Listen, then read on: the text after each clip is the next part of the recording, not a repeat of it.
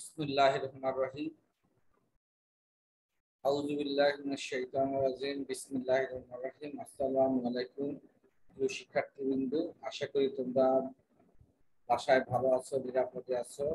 আমি ডাক্তার কাস্তুর সরকারি বাণিজ্য উচ্চ বিদ্যালয়ের পক্ষে অনলাইন শ্রেণির পক্ষে তোমাদের সকল সব সপ্তম শ্রেণির সকল শিক্ষার্থীদেরকে স্বাগত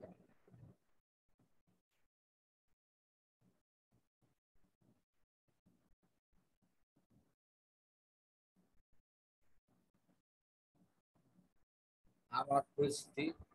আমি মহসিন হাওলাদার সহকারী শিক্ষক, ডাক্তার কস্তুরী সরকারি বালিকা উচ্চ বিদ্যালয়, চট্টগ্রাম। সপ্তম শ্রেণি কৃষিক্ষা চতুর্থ অধ্যায়, কৃষি ও জলবায়ু। আজকের পাঠ পাঁচ, ছয় এবং সাত। পৃষ্ঠানাং তেষট্টি থেকে সাতষট্টি পৃষ্ঠা পর্যন্ত। প্রিয় শিক্ষার্থীবৃন্দ, তোমরা এই পাঠগুলি ভালো করে পড়বে এবং বিভিন্ন সময় কাজ দেওয়া থাকবে, সেই কাজগুলো খাতায় লিখে রাখবে। প্রশ্নের কাজগুলো লিখে রাখবে।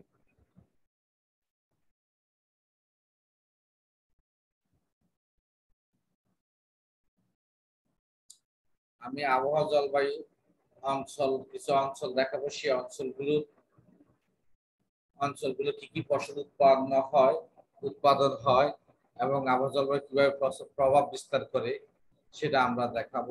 শিক্ষার্থীবৃন্দ তোমরা দেখে নিবে। এবং দেখো, এখানে একটি পাহাড়ি এলাকা দেখা যাচ্ছে চিত্রের মধ্যে। এখানে দেখো ধান, পাহাড়ি এলাকায়। পাহাড়ি এলাকায় আমরা মনে করি ধান চাষ করা যায় না। অনেক সময় এই পাহাড়ের ঢালে ধান চাষ করা যায়। তবে সেটা মৌসুম বেঁধে সেটা আবহাওয়া জলবায়ুর উপর নির্ভর করে। সে সব সময় চাষ করা যায় না। শিক্ষার্থী কিন্তু এটা একমাত্র সম্ভব বর্ষা, বর্ষার মৌসুমে এই পাহাড়ি অঞ্চলে ঢালের মধ্যে ধান চাষ করা যায়। এরপর দেখো, আমরা জানি পাহাড়ি এলাকায় চায়ের চাষ বেশি হয়। চায়ের জন্য বিখ্যাত। এটা চায়ের সবসময় চা উৎপন্ন করা যায়। কিন্তু ধানটা সবসময় হয় না।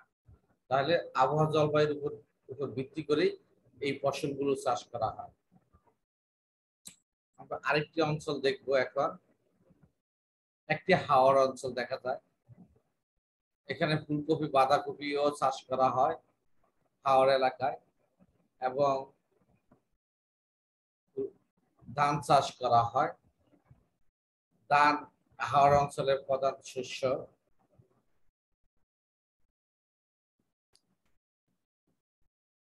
আমরা একটি সমুদ্র দেখব। এখানে কতগুলো গুঁড়ো মাছ দেখা যাচ্ছে। আর এখানে একটি সমুদ্র মিঠা নদী দেখা যাচ্ছে বা সাগর দেখা যাচ্ছে। সাগর হলে এগুলো মিঠা পানির মাছ, প্রিয় শিক্ষার্থীবৃন্দ। মিঠা পানিতে মাছগুলো চাষ করা হয়, কিন্তু সাগরে হয় না। কিন্তু সাগরে ইলিশ মাছ চাষ করা, চাষ হয়। ইলিশ মাছ সমুদ্রের মাছ।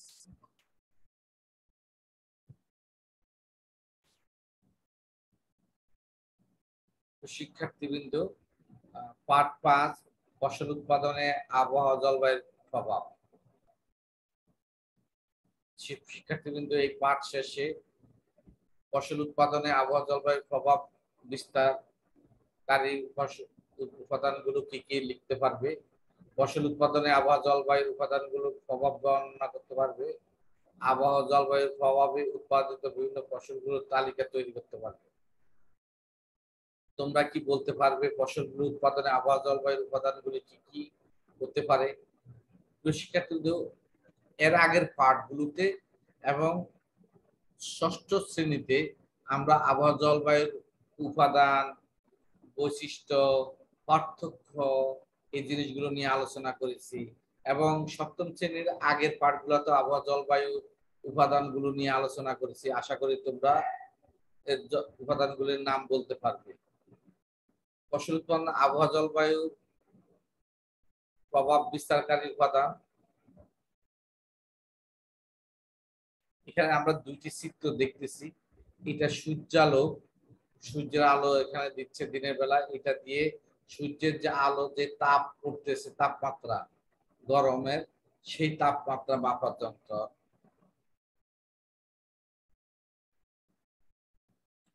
আরও দেখি আমরা। বৃষ্টিপাত, এটা হলো বায়ু, এই গাছগুলো দেখে আমরা বুঝতে পারতেছি যে বায়ু প্রবাহ।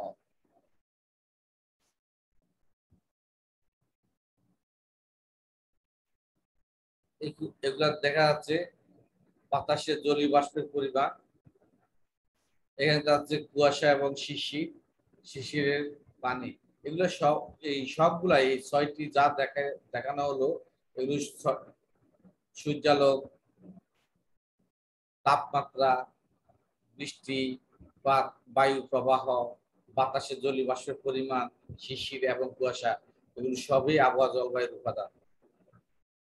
এটি একটি সূর্যের আলো। সূর্যালোক, আমরা সূর্য আলোক সম্পর্কে একটু আলোচনা করব। দেখো, সূর্যের আলো, সূর্য আলো দিচ্ছে গাছে। কার্বন ডাই অক্সাইড গ্রহণ করতেছে, অক্সিজেন ত্যাগ করতেছে। এখানে পানি মূল সাহায্যে গাছের অঙ্গ প্রত্যঙ্গে পুষিয়ে দিচ্ছে। অর্থাৎ তুই শিক্ষার্থীবৃন্দ, সূর্যালোক, এই যে সূর্য অনেকভাবে ফসল উৎপাদনে প্রভাব বিস্তার করে। আমরা জানি উদ্ভিদ সালক সংশ্লেষের প্রক্রিয়া খাদ্য তৈরি করে। তাহলে এই সালক সংশ্লেষের মাধ্যমে উদ্ভিদ খাদ্য তৈরি করে। এই প্রক্রিয়া সূর্যালোকের উপস্থিতি একান্ত যাবে। সূর্যালোকের উপস্থিতিতে পানি এবং কার্বন ডাইঅক্সাইডের সমন্বয়ে পাতায় খাদ্য তৈরি হয়। তাহলে আমরা বুঝতে পারলাম, প্রিয় শিক্ষার্থীবৃন্দু, এই সূর্যের আলোকের মাধ্যমে উদ্ভিদ তার খাদ্য তৈরি করে এবং অঙ্গ প্রত্যঙ্গে পৌঁছিয়ে দেওয়া হয়। সূর্যালোকের প্রয়োজন অনুসারে উদ্ভিদকে প্রধানত দুই ভাগে ভাগ করা যায়। এক হলো আলো পছন্দকারী উদ্ভিদ, দুই হলো ছায়া পছন্দকারী উদ্ভিদ। আলো পছন্দকারী উদ্ভিদগুলো কি? ভুট্টা, আখ। পূর্ণ সূর্যালোকে ভালো জন্মে। আবার চা এবং কফি ছায়া পছন্দকারী উদ্ভিদ। এগুলা ছায়াতে ভালো জন্মে। এখানে দেখো, সূর্যের আলো সূর্যের আলো এখান থেকে কীভাবে শস্য ক্ষেত্রে পৌঁছে দৈনিক আলোর সংস্পর্শে আসার সময় দিনের দৈর্ঘ্য ফসলের ফুল, ফল উৎপাদনে প্রভাব বিস্তার করে। আমরা এখন দেখব সেটা। দিনের দৈর্ঘ্যের সংবেদনশীলতার ভিত্তিতে উদ্ভিদকে তিন ভাগে ভাগ করা হয়। এক দীর্ঘদিবা উদ্ভিদ বা বড়দিনের উদ্ভিদ। বড়দিনে কোন কোন উদ্ভিদগুলো জন্মে? যেমন আউশ ধান পাট চাল কুমড়া চিচিঙ্গা দুন্দু এগুলো দিন বড় হতে হয়। অর্থাৎ দিনের দৈর্ঘ্য বারো ঘণ্টার বেশি হতে হয়। স্বল্প দিবা উদ্ভিদ ছোট দিনের উদ্ভিদ।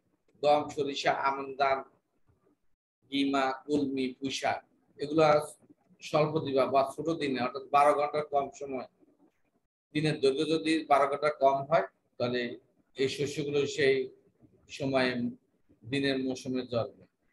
দিবা নিরপেক্ষ, এগুলো বাদাম টমেটো কাপড় তোলা, এই দিবা দীর্ঘ বা বড় দিনে উদ্ভিদ জন্মে, আবার স্বল্প দিবা, স্বল্প দিনে উদ্ভিদ সময়ও জন্মে। এই জন্য এটা দিবা নিরপেক্ষ ফসল বলা হয়। যেমন এখানে পাট আছে, তারপরে সাল কুমড়া আছে, সিসিঙ্গা দেখা যাচ্ছে, দুন্দুল দেখা যাচ্ছে। এই এইসব উদ্ভিদ, ফুল, ফল উৎপাদনের জন্য দিনের দৈর্ঘ্য বারো ঘণ্টার বেশি প্রয়োজন হয়। এগুলো বারো ঘণ্টার বেশি প্রয়োজনে, প্রয়োজন হয় এই দিনের দৈর্ঘ্য যখন বারো ঘণ্টা বেশি হয়, তখন এই উদ্ভিদগুলা ভালো জন্মাবে। অর্থাৎ এগুলাকে বলা হয় বড় দিনের উদ্ভিদ। বা দীর্ঘ দিবা পরবর্তীতে আছে, আমরা দেখি দম সরিষা ধান দেখো, এখানে আমরা ধান দেখতেছি আমন ধান এখানে দেখা যাচ্ছে পুঁই শাক, পালং শাক। এই জাতীয় উদ্ভিদগুলো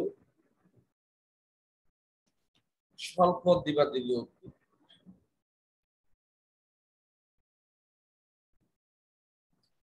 স্বল্প দিবা উদ্ভিদ বা ছোট দিনের উদ্ভিদ। অর্থাৎ এইসব উদ্ভিদ ফুটফল আসা উৎপাদনের জন্য দিনের দৈর্ঘ্য বারো ঘণ্টার কম প্রয়োজন হয়। এখানে বাদাম, টমেটো, আমরা জানি কার্পাস, এগুলো কার্পাস তুলা যে কোনো দৈর্ঘ্যের দিনে এইসব ফসল, ফুল, ফল উৎপাদিত হতে পারে। প্রিয় শিক্ষার্থীবৃন্দ, দেখো এখানে তাপমাত্রা, আমরা এখন তাপমাত্রা নিয়ে আলোচনা করব। বেঁচে থাকার জন্য, বেঁচে থাকার জন্য সকল উদ্ভিদের একটি সর্বনিম্ন, সর্বোত্তম, সর্বোচ্চ তাপমাত্রার প্রয়োজন হয়। রয়েছে, একে কার্ডিনাল তাপমাত্রা বলে। কার্ডিনাল তাপমাত্রা উদ্ভিদ প্রজাতি ও জাত ভেদে ভিন্ন ভিন্ন হয়। কোন স্থানের ফসলের বিস্তৃতি কার্ডিনাল তাপমাত্রা দ্বারা নিয়ন্ত্রিত হয়? তাপমাত্রার চাহিদা অনুযায়ী আবার আবাদযোগ্য ফসলকে দুই ভাগে ভাগ করা যায়। যথা ঠান্ডা ঋতুর ফসল, উষ্ণ ঋতুর ফসল।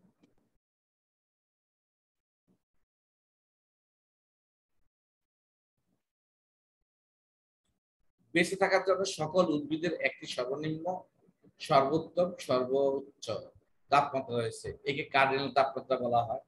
কার্ডিনাল তাপমাত্রা উদ্ভিদ প্রজাতি ও জাত ভেদে ভিন্ন ভিন্ন হয়। কোন স্থানের ফসলের বিস্তৃতি বা কার্ডিনাল তাপমাত্রা দ্বারা নিয়ন্ত্রিত হয়।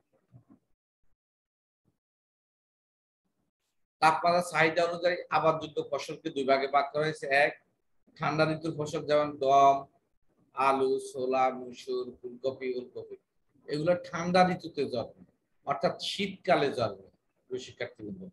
উষ্ণ ঋতুর ফসল পাট, রাবার কাঁচাবা এগুলো গরম ঋতুর ফসল, গ্রীষ্ম ঋতুর ফসল, বর্ষাকালীন ফসল, এই সময় তাপমাত্রা গরম বেশি থাকে। আলু ছোলা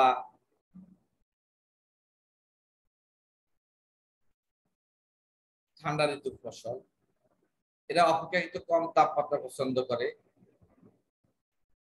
এদের সর্বনিম্ন তাপমাত্রা, সর্বনিম্ন হলো জিরো থেকে পাঁচ ডিগ্রি, জিরো ডিগ্রি থেকে পাঁচ ডিগ্রি, সর্বোত্তম হলো পঁচিশ ডিগ্রি, একত্রিশ ডিগ্রি এবং সর্বোচ্চ একত্রিশ থেকে সাঁত্রিশ ডিগ্রি সেলসিয়াস তাপমাত্রার প্রয়োজন হয় উৎপাদনের জন্য কৃষিক্ষেত্রে কিন্তু।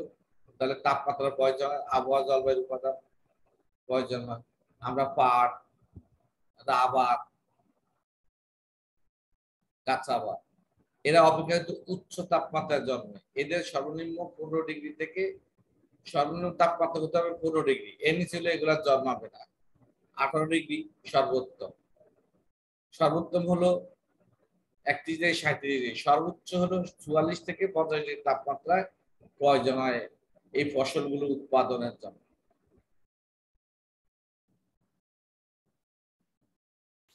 বৃষ্টিপাত বৃষ্টিপাত মাটিতে ধারণকৃত পানির প্রধান উৎস। বৃষ্টিপাতের পরিমাণ ও সময় ফসল উৎপাদনের জন্য খুবই গুরুত্বপূর্ণ। বৃষ্টিপাতের পার্থক্যের কারণে বিশ্বের বিভিন্ন অঞ্চলে বিভিন্ন ধরনের ফসল জন্মে থাকে। বায়ু প্রবাহ প্রসেদন সালেকশন স্টেশন ফুলের পরাগায়ন।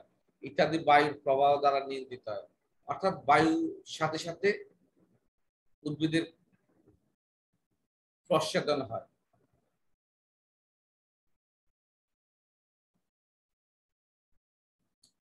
জলীয়বাষ্পের পরিমাণ, ফসলের প্রাথমিক বৃদ্ধি, পর্যায়ে উচ্চ জলীয়বাষ্প সহায়ক, দানা গঠন পর্যায়ে নিম্ন জলীয়বাষ্প দানা সংকোচন ঘটাতে পারে। বাতাসে অধিক জলি বাষ্পের পরিমাণ রোগ জীবাণু ও উপকার বিস্তার ঘটাতে পারে।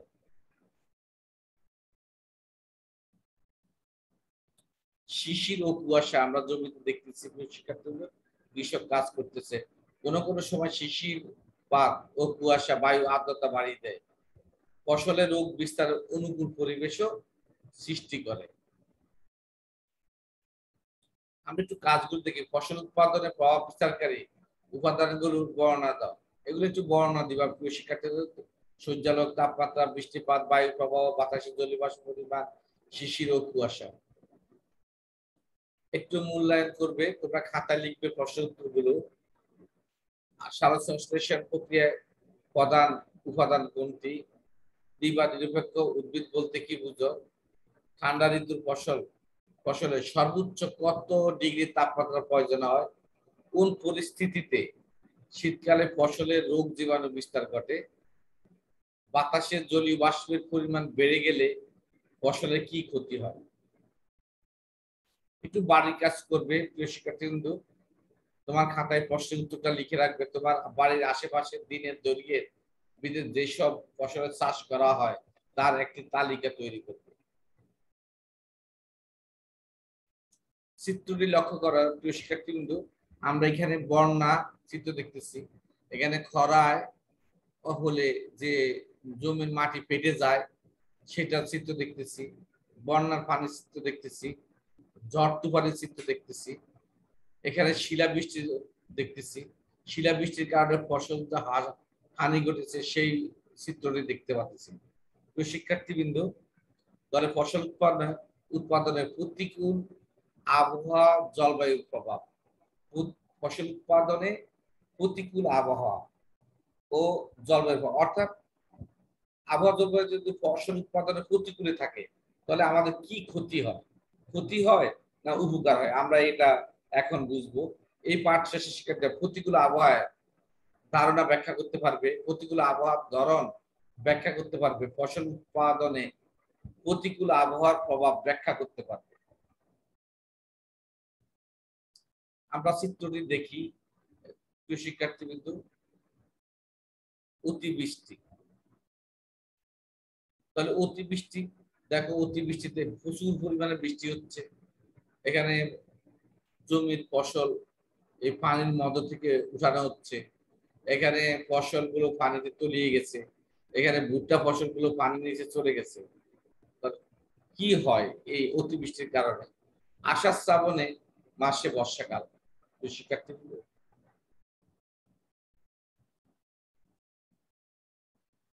এখানে দেখো, আমরা ফসল, লাল শাক, এখানে শশা এখানে শশা খিরায় এগুলো উঠানো হচ্ছে জমি থেকে। স্বাভাবিক তুলনায় যখন কোন স্থানে বেশি বৃষ্টিপাত হয়, তখন তাকে আমরা অতিবৃষ্টি বলি। তাহলে অতিবৃষ্টির সংজ্ঞাটা কি? শিক্ষার্থী স্বাভাবিকের তুলনায় যখন কোন স্থানে বেশি বৃষ্টিপাত হয়, তখন তাকে অতিবৃষ্টি বলে। অতিবৃষ্টির কারণে শাকসবজি জাতীয় ফসলের উৎপাদন ব্যাহত হয়। গাছ পানিতে হেলে পড়ে, পাতা, ফুল, ফল নষ্ট হয়, বন্যা ও জলাবদ্ধতার সৃষ্টি হয়। মাটিতে অক্সিজেনের ঘাটতি হয়, উদ্ভিদের বৃদ্ধি ও ফলন ক্ষতিগ্রস্ত হয়। কোনো কোনো গাছ ও মারা যায় যেমন কাঁঠাল পেঁপে গাছ, জলাবদ্ধতা, বৃষ্টির পানি হলে সেখানে জমি থাকলে কাঁঠাল গাছ পেঁপে গাছ মারা যায়। যদি আবহাওয়া জলবায়ু অনুকূলে থাকে, তাহলে আমরা পরিমিত ফসল উৎপাদন করতে পারি। আর যদি অনুকূলে না থাকে, আমরা এই ফসলগুলি পরিমিত ভাবে উৎপাদন করতে পারি না।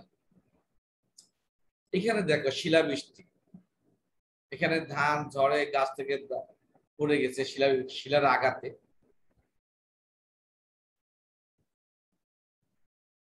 বাংলাদেশে প্রতি বছর চৈত্র বৈশাখ মাসে শিলাবৃষ্টি হয়ে থাকে। শিলাবৃষ্টির পরিমাণ দেশের উত্তরাঞ্চলে দক্ষিণ পূর্বাঞ্চলে বেশি হয়। অধিকাংশ ক্ষেত্রে কালবৈশাখীর সাথে শিলাবৃষ্টি হয়। শিলার আঘাতে ফসলের পাতা কচি ডাল, ফুল, ফল ভেঙে ঝরে পড়ে, থেতলিও যায়। শিলাবৃষ্টি ফসলের প্রচুর ক্ষতি সাধন করে, যেমন পেঁয়াজ, রসুনের ক্ষতি করে থাকে। এই সময় ক্ষতির পরিমাণ বেশি হলে খ্যাত থেকেই ফসল সংগ্রহ করতে হয়।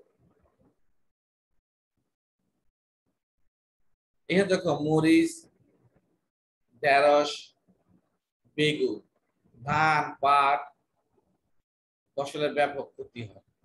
যখন এপ্রিল, মে মাসে শিলাবৃষ্টি হয়, তখন আমরা এই ফসলের ব্যাপক ক্ষতি হয়ে থাকে। এখানে দেখো প্রিয় শিক্ষার্থীদের, এটা কিসের চিত্র দেখা যাচ্ছে? আমরা দেখি।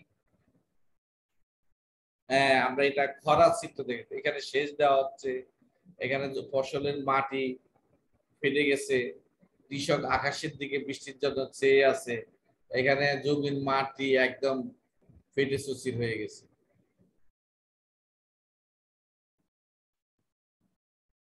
অর্থাৎ জমিটার দিকে খেয়াল করো দীর্ঘদিন বৃষ্টিহীন অবস্থায় খরা বলে, আমার দেশে যদি শুষ্ক মৌসুমে বা চৈত্র মাস থেকে কার্তিক মাস পর্যন্ত সময়ের একটানা বিশ দিন এর বেশি বৃষ্টিপাত না হয়, তাহলে তাকে খরা বলে। অনাবৃষ্টির কারণেও মাটিতে ক্রমান্বয়ে রসের ঘাটতি হতে পারে। যদি অনাবৃষ্টি, যদি বৃষ্টি না হয় আর কি অনাবৃষ্টি, তার কারণেও মাটিতে রসের ঘাটতি হয়, দেখা দেয় দেখা এখানে রসের ঘাটতি দেখা দিচ্ছে ফসলের ফলে কি হচ্ছে?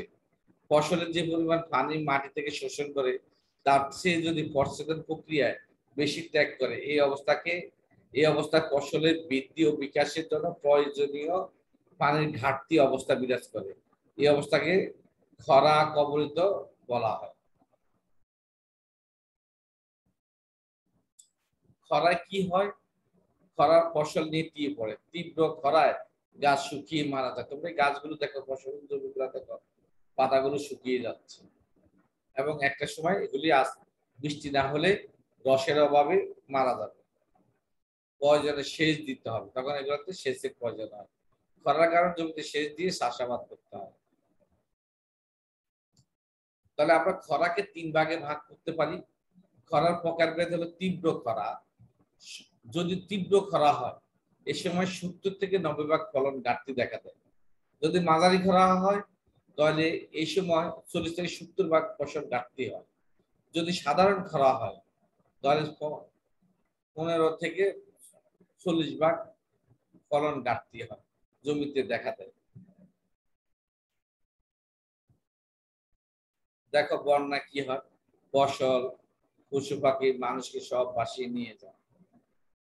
বাড়ি ঘর বাড়ি ডুবে নিয়ে তাহলে আমরা এখন বন্যা তাহলে আমরা এখন একটু শিক্ষার্থী বিন্দু আমরা একটু বন্যা নিয়ে একটু আলোচনা করি। বন্যায় পানির উচ্চতা, পানির গতি বন্যার স্থায়িত্বের উপর ফসলের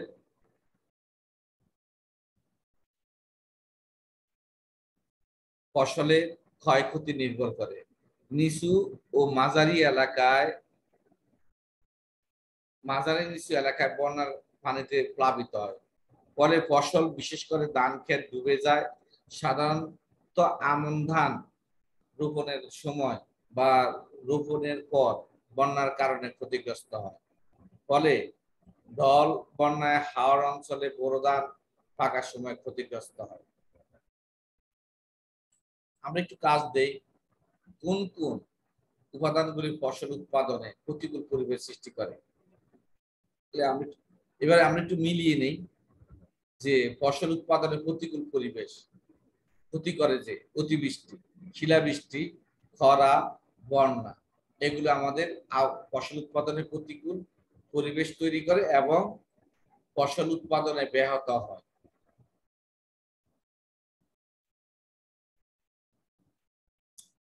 একটু কাজ দেখো, এই কাজটা দেখো, প্রতিকূল পরিবেশে, পরিবেশজনিত সমস্যাগুলো, ফসল উৎপাদনে কি কি প্রভাব ফেলে, বর্ণনা দাও। একটু দেখো, খরা কয় প্রকার? দুই প্রকার দুই প্রকার, তিন প্রকার, চার প্রকার, ছয় প্রকার। তাহলে আমরা দেখি দুই দিয়ে দেখলাম হয় নাই। তিন প্রকার খরা অতিবৃষ্টির কারণে কি হয়? আমরা দেখি। অতিবৃষ্টির কারণে বন্যা হয় এবং জলাবদ্ধতায় যার ফসলের ক্ষতি হয়। বাংলাদেশে প্রতি বছর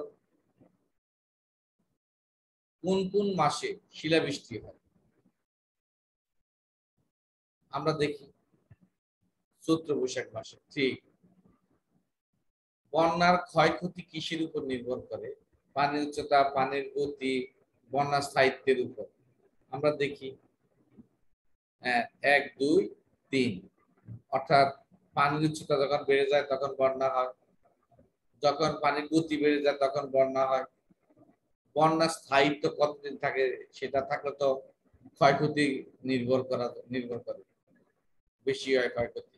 বাড়ির কাজ প্রতিকূল আবহাওয়ার কারণে ফসলের কি ধরনের ক্ষয়ক্ষতি হয়, তা আলোচনা করো। তোমার খাতায় লিখবে বাড়ির কাজটি। প্রত্যেকটা প্রশ্ন, মূল্যায়ন, কাজ, এই বাড়ির কাজ, সব ধরনের কাজগুলো তোমাদের খাতায় লিখে রাখবে শিক্ষার্থী কিন্তু একটু দেখো, চিত্রটি দেখো। এখানে কি দেখা যাচ্ছে? আমরা চিত্রগুলি দেখে একটু চিন্তা করি। দেখো এখানে এক একটা অঞ্চলে এক এক ধরনের ফসল। এখানে দেখো, ধান রোপণ করতেছে, এখানে মাছ হচ্ছে, এখানে ধান উৎপন্ন করছে, এখানে এক ধরনের শাকসবজি উৎপন্ন করছে। তাহলে কি বলা হচ্ছে এখানে? এখানে দেখো মাছ মাছ ধরতেছে। এখানে গম গম কাটতেছে। তাহলে আমরা আজকে কৃষি পরিবেশ অঞ্চল নিয়ে আলোচনা করব পাটসাদ কৃষি পরিবেশ অঞ্চল।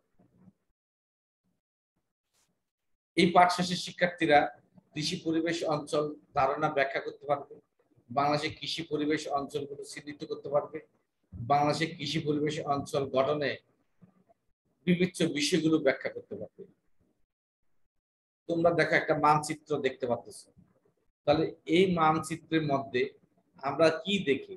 দেখি কোথাও বৃষ্টিপাত একটু বেশি হয়, এই বৃষ্টিপাত দেখা যাচ্ছে। কোথাও বৃষ্টিপাত কম হয়, এই যে এখানে কম হচ্ছে, দেখা যাচ্ছে। কোথাও তাপমাত্রা কম, আবার কোথাও তাপমাত্রা বেশি। এক একটি অঞ্চলের মাটি এক এক রকম। এইসব কিছুই হলো কৃষি পরিবেশ। এগুলো মিলিয়ে হলো কৃষি পরিবেশ। কোথাও বৃষ্টিপাত কম, কোথাও বৃষ্টিপাত বেশি।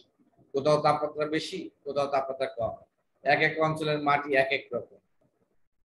এই যে দেখো, ঠান্ডা গরম কাপড় পরে আছে, তাহলে এটা একটা জলবায়ু। তাহলে আবহাওয়া জলবায়ুর উপর নির্ভর করে। এগুলো নিয়ে কৃষি, এগুলো নিয়েই হলো কৃষি পরিবেশ কৃষি শিক্ষার্থীবৃন্দ আমরা এই কৃষি পরিবেশগুলা দিয়েই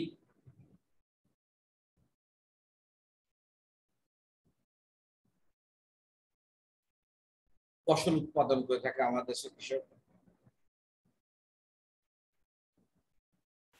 আমরা দেখি রাজশাহী এবং শ্রীমঙ্গল। এই আমের ফলন ভালো হয়। রাজশাহী আমের ফলন ভালো হয়। দিনাজপুরের লিচু ভালো হয়। শ্রীমঙ্গলের চা, কমলার ফলন ভালো হয়। জয়সরে খেজুর, খেজুরের ফলন ভালো হয়।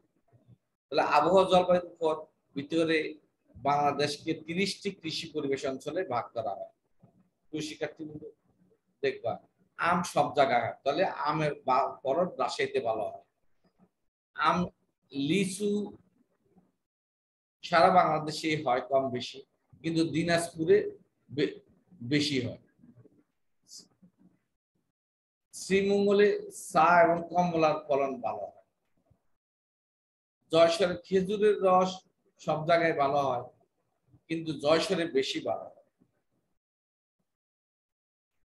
কাজ, কৃষিক্ষেত্রে বাংলাদেশের কোন জেলায় কোন ফসল ভালো জন্মে তার একটি তালিকা তৈরি করে। আমরা বাংলাদেশের একটি কৃষি পরিবেশ অঞ্চলের মানচিত্র দেখতে পাচ্ছি। সর্বশেষ উনিশশো অষ্টআশি উনানব্বই সালে বাংলাদেশকে তিরিশটি কৃষি পরিবেশ অঞ্চলে অঞ্চলে উপজেলা পর্যন্ত ভাগ করা হয়েছে। এর মধ্যে জেলা, উপজেলা সব বিভাগ সব কিছু আছে। এটা মাটি আবহাওয়া জলবায়ুর উপর নির্ভর করে, মাটি, ধরন উপর নির্ভর করে, পানির উপর নির্ভর করে, স্থানের উপর নির্ভর করে তিরিশটি কৃষি পরিবেশ অঞ্চলে ভাগ করা হয়েছে। কৃষি উৎপাদনে কৃষি পরিবেশ অঞ্চলের বিবেচনায় নেওয়া হয়। কি নেওয়া হয় আমরা একটু দেখি। কৃষি উৎপাদনের জন্য কৃষি পরিবেশ অঞ্চল বিবেচনা নেওয়া হয় ফসল নির্বাচন। ফসল পরিচর্যা, রোগ বালাই দমন এবং রোগ বালাই ব্যবস্থাপনা, এগুলো বিবেচনায় নেওয়া হয়। কৃষি পরিবেশ অঞ্চল ভাগ করার জন্য। কৃষি পরিবেশ অঞ্চল গঠনে নির্দিষ্ট কৃষি কিছু বিষয় বিবেচনা করা হয়। যেমন দেখো, মা, প্রধান বিবেচ্য বিষয়, ভূমি, কৃষি আবহাওয়া, মৃত্তিকা পানি পরিস্থিতি, এগুলোর উপর নির্ভর করে। ভূমি শ্রেণীবিন্যাস করা হয়েছে পাঁচ ভাগে কোথাও অনেক উঁচু ভূমি উঁচু ভূমি, মাঝারি উঁচু ভূমি, মাঝারি নিচু ভূমি নিচু ভূমি, অতি নিচু ভূমি। এর উপর ভিত্তি করে কৃষি পরিবেশ অঞ্চলটাকে ভাগ করা হয়েছে, ভূমির উপর নির্ভর করে। কৃষি আবহাওয়া প্রসঙ্গে বিবেচনা নেওয়া হয় কি নেওয়া হয় আমরা একটু দেখি। কৃষি আবহাওয়ার বিবিধ বিষয়। খরিফ পূর্ব আবহাওয়া। খরিফ আবহাওয়া, রবি আবহাওয়া, চরম তাপমাত্রা।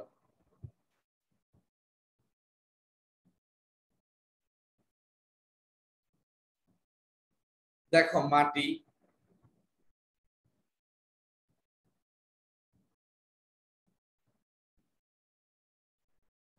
এখানে মাটি নিয়ে দেখা যাচ্ছে, এখানে এক এক এক অঞ্চলের মাটি এক এক রকম। এখানে একরকম এখানে একরকম দেখো চিত্রগুলো একটু দেখো। কৃষি পরিবেশ অঞ্চল নির্ধারণে পানির পরিস্থিতি বা মাটির আর্দ্রতা বিষয়টিকে প্রাধান্য দেওয়া হয়। এছাড়া নদী অববাহিকা হাওয়ার বাওয়ার বিবেচনায় নেওয়া হয়।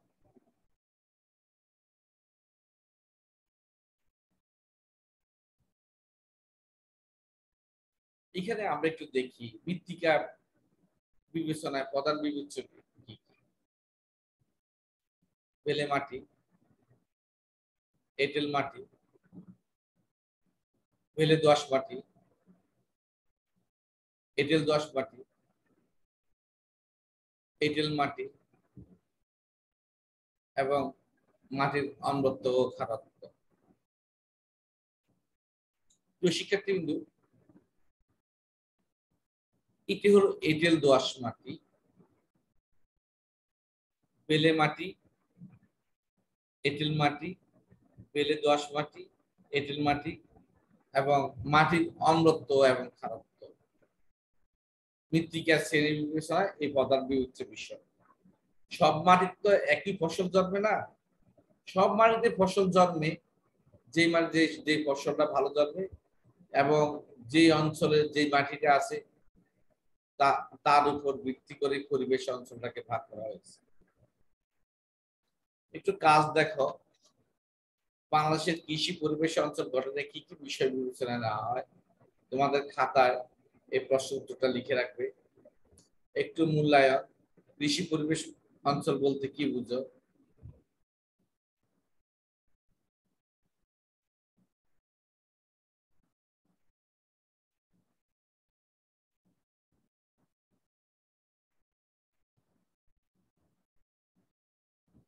কৃষির উপর ভিত্তি করে বাংলাদেশে কৃষি পরিবেশ অঞ্চলকে ভাগ করা হয়েছে? বাংলাদেশের কৃষি পরিবেশ কে কয়টি অঞ্চলে বিভক্ত করা হয়েছে? কত সালে এই বিভাজন করা হয়? পরিবেশ অঞ্চল গঠনে প্রধান বিবেচ্য বিষয়গুলো কি কি? প্রশ্ন উত্তরগুলো তোমাদের খাতায় লিখবে। তো শিক্ষার্থীবৃন্দ